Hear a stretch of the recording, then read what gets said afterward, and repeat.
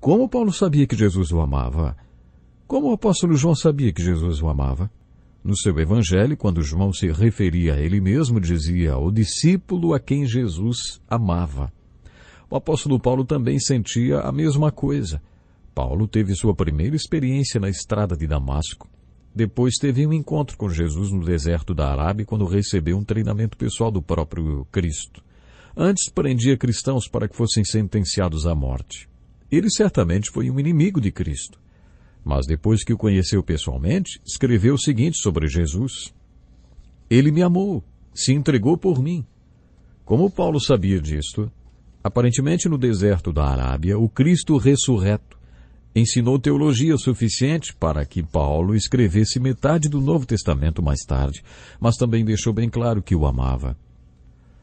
O amor de Jesus é o tipo de amor que está descrito na primeira carta de Paulo aos Coríntios, capítulo 13, no qual encontramos a descrição do amor indestrutível de Cristo. Indestrutível porque é incondicional e não se baseia em merecimentos. O amor de Jesus por nós existe, não importam as circunstâncias. Por isso, quando vemos o amor de Jesus pelo pecador, observamos o valor que ele deu ao amor.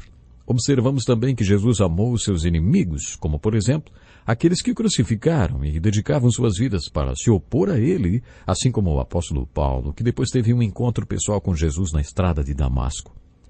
Jesus ensinou a amar os inimigos, dando o exemplo e também o seu ensino.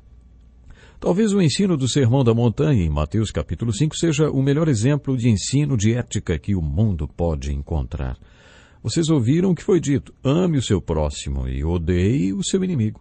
Mas eu lhes digo: amem os seus inimigos e orem por aqueles que os perseguem, para que vocês venham a ser filhos de seu Pai que está nos céus. Porque ele faz raiar o seu sol sobre maus e bons e derrama chuva sobre justos e injustos. Se vocês amarem aqueles que os amam, que recompensa vocês receberão? Até os publicanos fazem isso, e se saudarem apenas os seus irmãos, o que estarão fazendo demais? Até os pagãos fazem isso. Portanto, sejam perfeitos como perfeito é o Pai Celestial de vocês. Em toda a história nunca se ouviu uma ética tão nobre como esta. Através dela, Jesus nos ensina que devemos confessar o valor que damos para o amor, não apenas amando uns aos outros, mas amando também o pecador. E mais ainda, amando os próprios inimigos.